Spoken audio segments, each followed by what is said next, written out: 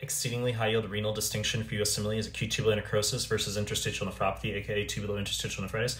Aminoglycosides, gentamicin, amikacin, these cause acute tubular necrosis. Muddy brown, dirty brown granular casts, brown pigmented casts following the aminoglycoside can be contrast-induced nephropathy, can be rhabdomyolysis, myoglobin is nephrotoxic, can be acute ischemia to the kidney, e.g. episode of ventricular fibrillation, can be acute blood loss due to trauma or surgery. It's not pre-renal, okay? It's acute tubular necrosis, exceedingly high yield. And then in contrast, we've got tubulointerstitial nephropathy, which is going to be an NSAID, beta-lactam, or cephalosporin, almost always followed by white blood cells, eosinophils in the urine. Occasionally, they can tell you one of those agents is given, followed by just simply a little bit of blood and protein in the urine, that's interstitial nephropathy.